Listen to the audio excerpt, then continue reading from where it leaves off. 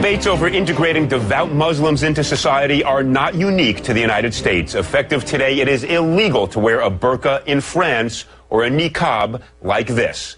A Muslim veil that reveals only the eyes. The new law drew protest and confusion on the streets of Paris. Two women stepping out in their niqabs and drawing a crowd were arrested for staging an unauthorized protest. The French government has called the veils, and I quote, a new form of enslavement, end quote, not acceptable on its soil. Many Muslims are enraged, but not all.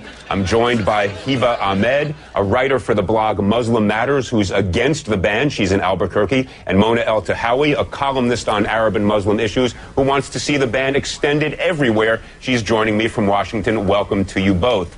Let me begin by, if I might, by quoting President Sarkozy of France in his justification for the law. It's kind of a remarkable statement. He says, and I quote, this is the President of France, the burqa is not a religious symbol. It's a sign of enslavement, of debaseness. I want to say this solemnly. The burqa will not be welcome on the territory of the French Republic. We cannot accept in our country women imprisoned behind a mask, deprived of all social life, of their identity. So, Mona, let me start with you. You want to extend this ban across the world. Do you agree with President Sarkozy that merely because somebody wants to dress like this, they choose to dress like this, they shouldn't be permitted to do so? You know, Eliot, I detest Nicolas Sarkozy. I consider him right wing and racist, but I also detest the niqab and I detest the face veil. And I say this as a Muslim woman. I think it, it represents an ideology that does not believe in Muslim women's rights to do anything but choose to cover her face. And I find that I believe that the niqab dangerously equates piety with the disappearance of women. And so I support banning it everywhere because I don't, it's not in the Quran. It's not an obligation for a Muslim woman to cover her face.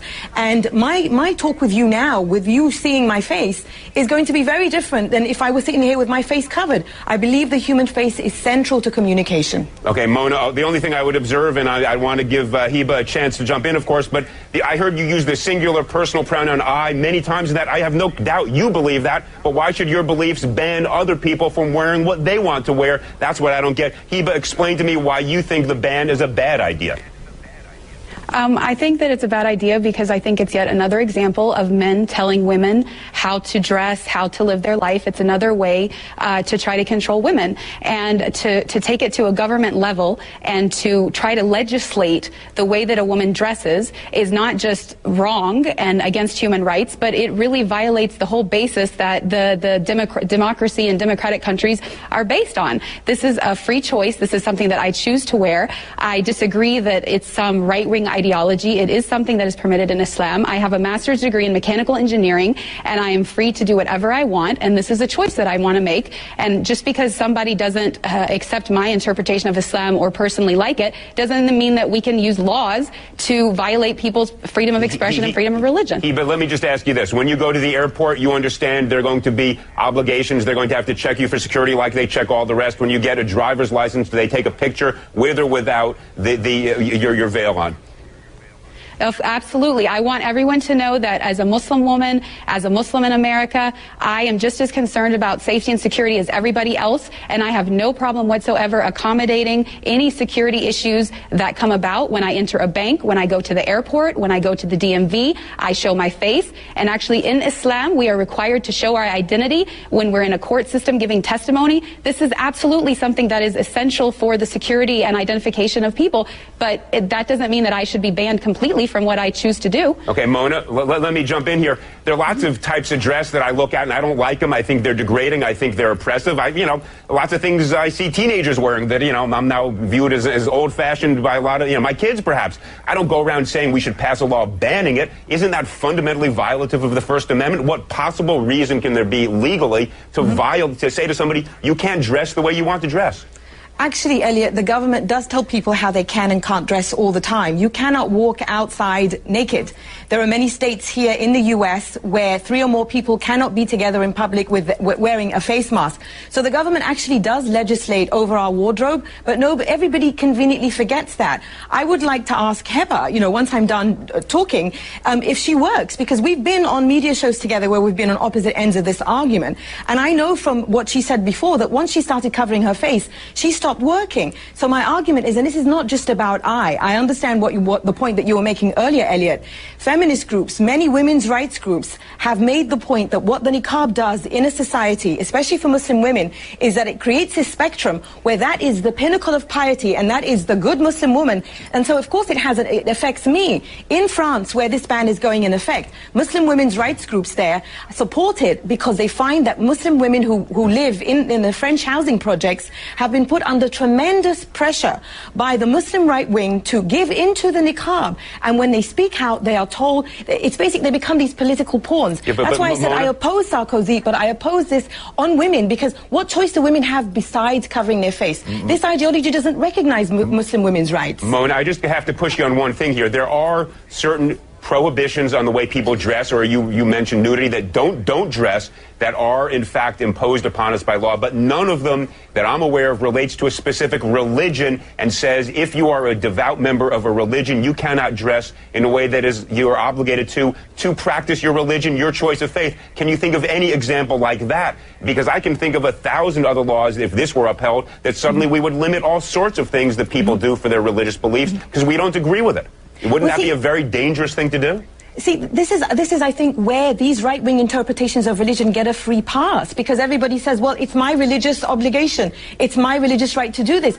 Let's let's look really at what we're talking about here. We're talking about the disappearance of women, justified in the name of them becoming closer to God. So the closer you want to become to God, the, the more, the less of you, the more you disappear. but- but this Mona- is not I don't, I accepted don't by the feel that majority I of have Muslim schools of disappeared at all. Well, one at I a time. completely Wait, wait, disagree. Guys, one at a time. Habib, Hebah, excuse me, jump in. Tell us, has anybody forced you to do this? Is this something you're doing of your own free Nobody will? has nobody has forced me to do this, and I really have to disagree with the statistics that Mona is trying to put forth because studies have shown that there are only 2,000 women in France that wear the niqab. The majority of them are converts who converted to Islam and are voluntarily choosing to do it. This is my choice. Nobody can force me to take it off. I would not take it off even if you paid me to do it. And the fact of the matter is that the, there is never, I have never met a single Muslim woman in all of my travels around the world that is being forced to wear it. She, I, I understand Mona does not like it and does not want to wear it personally, but she keeps talking about her own feelings about it and she wants to use the law to support it. If she wants